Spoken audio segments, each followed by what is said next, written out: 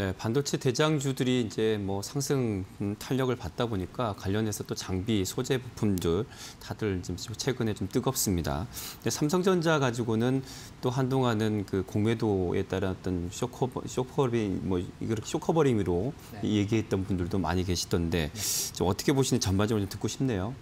네, 뭐 크게 반응을 늘 안 했었습니다. 네, 미국이 네. 좋음에도 크게 반응을 하지 않은 삼성전자였는데 최근에 주가 수급 적으로 먼저 반응을 하는 모습이었고요. 일전에 저희가 늘 다뤘던 내용 중에 하나가 삼성전자는 외국인이 보기에 기업보다는 그 국가로 뭐 우리나라를 매수, 신흥국을 매수하느냐 여부에 초점이었는데 아무래도 시장 관점에서 외국인 매수가 유입이 연속적으로 될 때는 삼성전자 같은 경우가 또 강세를 맞아요. 보였거든요. 네. 일차적으로 수급 측면에서 긍정적인 선행을 했는데 이제 뒤에는 또 이유를 찾기 시작하기도 하고 이 이유가 현재 주가보다 더 상승할 수 있는 요인이 있는지가 또 저희가 주가의 방향의 하나의 판가름이 될 수. 있는데 네. 뭐 디램 선물 가격의 추이 네. 뭐, 뭐 계속 빠지는 단계였었거든요.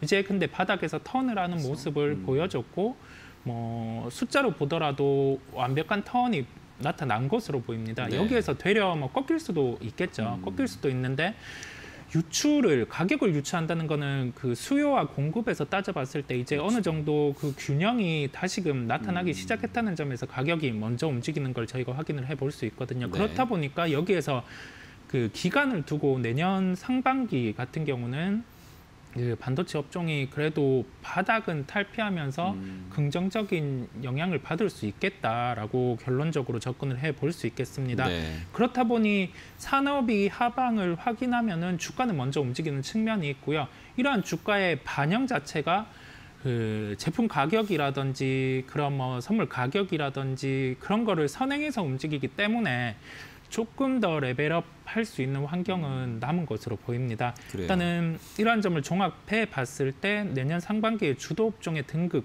가능성이 높을 것으로 보이고요. 그렇다고 하면은 미리 이제 12월에 조금 준비를 해야 되는 측면이 있다 보니 관심을 가져야 한다. 반도체 업종 같은 경우는 그렇게 네. 말씀드릴 수 있겠습니다. 뭐 시총 상위 1위를 반도체 대장주가 하고 있다 보니까 삼성전자 또 SK하이닉스가 이렇게 긍정적으로 바라보신다면 내년에 우리 또 지수 또한 거기에 또 상응하지 않겠는가라는 생각도 하게 됐는데 그럼 삼성전자, SK하이닉스를 비- 비롯해서 관련 종목들의 최근 흐름 어떤지 좀 짚어주시죠. 네, 최근에 워낙 뭐 주가 같은 경우가 한 7, 삼성전자 같은 경우는 7만 원대 이하에서 다시금 상승을 해 오는 모습 한 7만 원대 기준으로 10% 정도 현재는 상승을 한 모습이고요. 네. 그다음에 SK 하이닉스 같은 경우는 뭐 10월 같은 경우 좀 과한 매도였죠. 9만 원대 같은 경우는 거의 그 실적 성장이 없는 단계의 주가 수준이다 보니까 이 정도는 과한 수준이었는데 한 10만 원 수준에서 20% 정도 상승한 거를 확인을 할 수 있겠습니다. 네. 일단은 나머지 이제 후공정단에 있는 뭐 속해 소모품을 하는 업체 대표적으로 리노공업 같은 경우에 주가를 살펴보면 네. 크게 주가도 빠지지는 않은 상황이었고요. 현재 구간에서 지금 한 20% 정도 상승을 나타내는 음. 모습이거든요. 그렇다 보니까 이게 저희가 여기에서 판단을 해볼 수 있는 거는 만약에 반도체 쪽이 좋아진다고 하면은 중소형주의 수익률이 먼저 튀어 올라오고 그 다음에 대형주 같은 경우가 이제 뒤에 좀 후발로 이- 이번에는 움직이는 경향이 있었거든요. 전자가 버텨주는 상황에서 그 후발 업체들 그 그다음에 시가총액이 작은 업체들 수혜를 네. 볼수 있는 업체들이 주가가 빠르게 먼저 움직였기 때문에 이제 이 상황에서 놓고 봤을 때 그 삼성전자, SK 하이닉스가 여기에서 뭐 빠진다 아니면은 뭐 더 오른다 이거를 판단하기보다는 이 구간에서 버텨준다고 하면은 관련된 그 중소형 업체들 같은 경우에 주가 상승이 더욱 빠를 수 있다는 판단이거든요. 네. 그 이런 산업 자체도 좋아졌기 때문에 이러한 점을 종합해 봤을 때 그 반도체와 연관된 중소형주 같은 경우 현재 관심을 가져야 할 것으로 보입니다. 네. 자, 그러면 이 안에서 가장 선호하신 종목도 들어볼까요?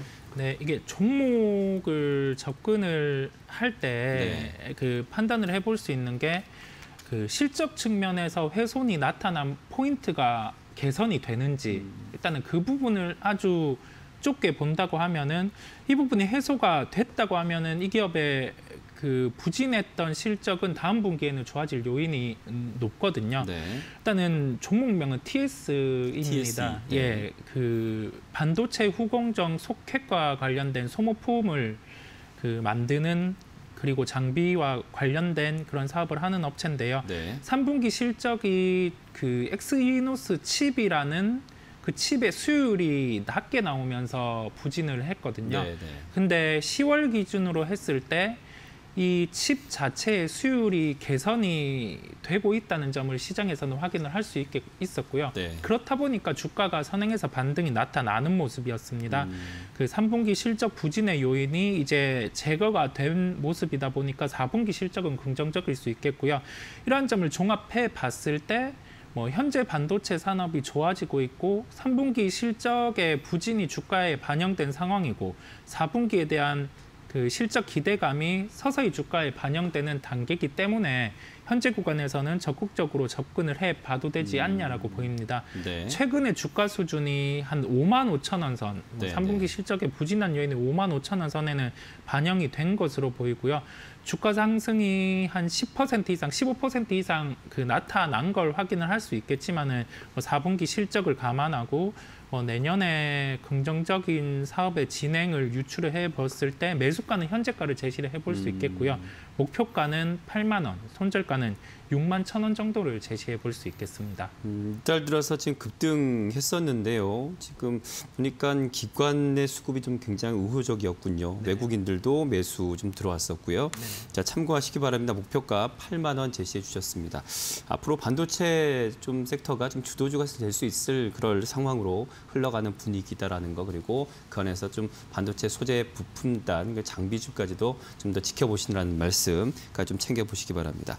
자 오늘 어, 테만 이슈는 글로벌 파트너스의 이성웅 이사와 함께했습니다. 오늘 말씀 고맙습니다. 네, 감사합니다.